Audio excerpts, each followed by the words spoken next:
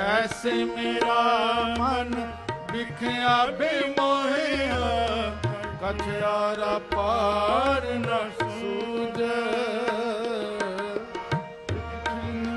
ਦਰਸ਼ਨ ਦਿਖਾਏ ਜੀ, ਇੱਕ ਦਿਨ ਦਰਸ ਦਿਖਾਏ ਜੀ।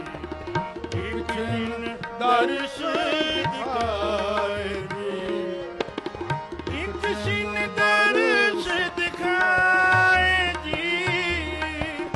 ਸਗਲ ਪਵਨ ਨਾਇਕਾ, ਇੱਕ ਛਿਨ ਦਰਸ ਦਿਖਾਏ ਜੀ